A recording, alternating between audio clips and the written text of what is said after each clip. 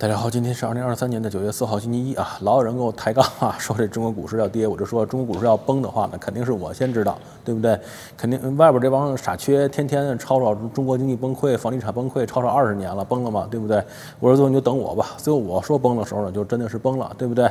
呃，然后呢，偏跟我说什么恒大要倒闭了，碧桂园倒闭了，房地产还不崩？我说恒大倒了，碧桂园倒了，中国房地产也崩不了。啊，他俩代表不了中国房地产啊，中国房地产大了，就跟这个新东方一样，新东方代表不了中国教育啊，教育肯定还在，新东方有可能没了啊，但是但是教育还在啊，所以呢，就是说恒大和碧桂园呢，还有一点你要明白一点，知道吗？就是恒大和碧桂园是不敢破罐破摔的，明白吗？就是说他最后再不管出了什么问题，后面要保交楼，该负的责任要负。他为什么说不敢破罐破摔呢？是这样子，就是说你如果破罐破摔，等于是给老公惹祸。对不对？那你给老公惹祸，老公能放过你吗？中国这个刑法是不是还没改了？中国是不是这个贪污什么腐败超过五百万人民币就可以枪毙？就许家印、杨惠妍那拿出来是五百万人民币能走走得了的吗？哪个不是个几十亿、上百亿的，对不对？当然你说这钱这钱能说清楚吗？老公只要查的话，我说句实在的，你这个你这里边拿你个一亿两亿出来就够你。五要五百万可以杀头的话，那弄一个亿能能枪毙二十次了，对不对？所以呢，我相信呢，这个许家印、杨惠妍他们，就是说公司再出什么问题，肯定会跟政府配合，跟老共、跟共产党配合，把这个事情呢，最后呢要做的就是说好看一点，不能让老共呢太难堪了，啊，要把这事儿弄好。呃，弄好了呢，大家都好说；弄不好呢。那，你你以为枪毙是怎么着？你懂吗？所以呢，这问题就在这儿了。所以我说呢，中国房地产呢，暂时就目前看这个情况还崩不了。而且还有点呢，就是老共手里的这个工具箱里工具太丰富了，你知道吗？这个这次这个中国驻美大使谢谢谢谢辉给这个华尔街，呃，给给华盛顿邮报那个投书不也是说嘛，说我们工具箱里的工具还很丰富，你们不要着急，我们还没我们还没动手呢，你们你们担心什么？对不对？好吧，那现在的真实情况啊，中国房地产开发商啊，全部的都是股价大涨，北京、上海的成交脉冲式的上涨，哈，整个这个房地产现在是整个企稳了啊，呃，因为什么呢？现在全国啊全面落实叫认房不认贷政策。什么叫认房不认贷政策呢？是这样，是指啊，不论你你这一个家庭啊，此前是否使用过商业贷款购房，就是不是有没有买过房，我不管，有没有过贷款记录呢，我也不管，我我不认贷，我只认房啊。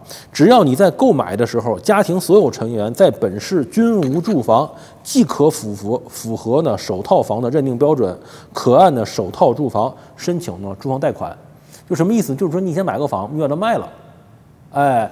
那你就可以再重新当这个首套房来这个按照就享受首这个首套房这贷款的这个呃优惠啊。那这个来讲呢，这个实际上是合情合理的。为什么？因为在美国也如此。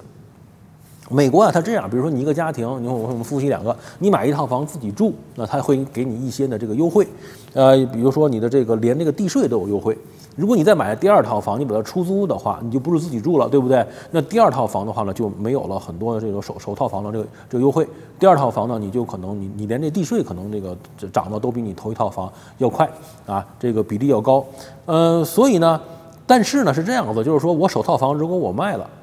我把这套房卖了，我再买一套的话，那么我下边那一套房子就作为我的首套房了，你懂吗？就是说我住哪儿是哪哪个算？你你不要管我以前买过没买过，我以前买过买我我我卖了我没有了，我现在我又买了一套，对不对？所以它这个呢是合理的一个事情，你明白吗？这都不能算什么政策，这只是呢就是说一个正常的一个规定，那美国也如此啊。这个这个呢，没有任何的，就是说好像要要刺激房地产市场的这个意思啊。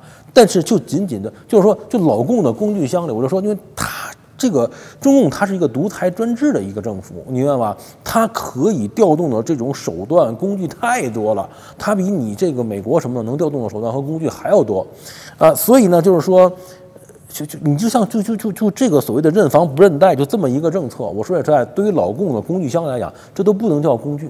啊，什么改锥、钳、刀都没拿，都没拿出来。这就是反正看工具箱。哎，我这有有，你最近不是房地产被你们抄抄的太狠了？我就说今年这个经济好不好，房地产好不好，主要看外部。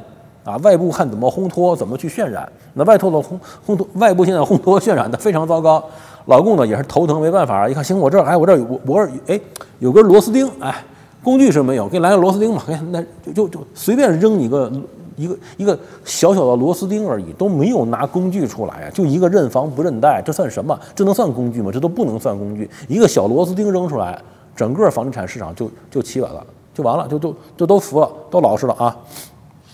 全面落实之后啊，北京、上海楼市成交量出现脉冲式上涨，嗡的一下就上去了啊。深圳楼市回回暖，北上广深四地新房、二手房价格均企稳，保持平稳了，全部都扛住了啊。然后再看啊，股价股价大涨啊，恒生中国内地地产指数啊，所有的内地地产的指数整个上涨百分之八点二啊。然后香港上市的龙湖集团上涨了百分之十啊，新城发展升了百分之十七。啊，好家伙，在上海上市的金地集团上涨百分之四点一，连万科这么大啊，都上涨了百分之一点四啊！你猜怎么着？连碧桂园都跟着涨，碧桂园涨了百分之九，碧桂园的股票都涨了。你就想，当然了，碧桂园它主要是它那个债券展期获得债权人的批准，所以导致呢，碧桂园的股价呢也跟着上涨到了百分之九啊！所有的中国房产股开发商的股价全部跟着往上涨啊，然后这个交易量也上去了。哈，所以呢，你就说，就这么一个小螺丝钉扔出来，整个房市就企稳了。你说这房市它怎么崩？你知道吧？这你你对这个崩，我觉得很多人就是说，海外有一些就是说所谓的这些 UP 主、这些自媒体，就完全不负责任，上嘴唇就上一声下嘴唇就说崩崩崩个屁也崩，你知道吗？老共的工具，而且还有一堆改锥钳子刀还都没使呢，什么工具都没，就扔一个小螺丝出来就就起稳了，就这崩。对中国，我就觉得有没有一点基本的认认识，你知道吗？缺乏政治常识，缺乏政治逻辑，知道吗？所以呢，我就告诉你，暂时反正我看是崩不了。虽然你你有你的担心呢，你你的问题，好不好？然后呢，再说啊，有一个网友给我留言，他这么说，他说啊，对于关于中国经济啊，他说因为我们家自己本身啊，这房网友跟我说，他他说我们家自己本身呢就是做房地产的，所以呢，对房地产的数据呢比较直观啊。他说：“本来我们呢也以为，也认为，但因为现在外部都说当前这个经济不好嘛，他拿 VPN 翻墙嘛，说看外面都都这么说啊，以为呢当前经济不好，尤其是房地产行业。那他认为呢新楼盘应该呢很难卖啊。结果呢，好家伙，我们家这一开盘啊，当天直接卖了一半儿，远远好于预期，也侧面说明了中国经济呢其实远没有想象中那么糟啊。你看我们这个小小伙伴发来的这个东西，对吧？所以呢，就是说你看看真实情况。”啊，我我我也知道，外部有外部的想法。其实今年年初我就预计到了，外部外部的想法，外部可能他他会去渲染，就会去烘托。但是呢，我就说，就是说，你到最后，就是说，你作为海外的这些媒体也好，什么也好，最后你说的中国跟现实的中国已经成了两个平两个平行宇宙的时候呢，呃，但是看的观众多，啊 看的观众多，啊 观众就喜欢看这个，那没他没办法啊，所以呢。呃，那你让我说什么呢？就没什么好说的。反正呢，我跟你说呢，这是一个实实情，真实情况其实是是是这样的。当然，你如果要认为它要崩了，那那就那那也挺好，你赶快卖房子，就完了嘛，对不对？但是我觉得呢，其实现在呃还没有到那个时候，还没有要还没有。反正我现在是看不出要崩的这个迹象来，好不好？我只能说的是软呃软着陆啊，软着陆呢，什么叫崩？崩是硬着陆，嘎嘣一下，知道吗？软着陆呢是一点点的啊。我觉得今年呢是中国房地产软着陆的一个元年。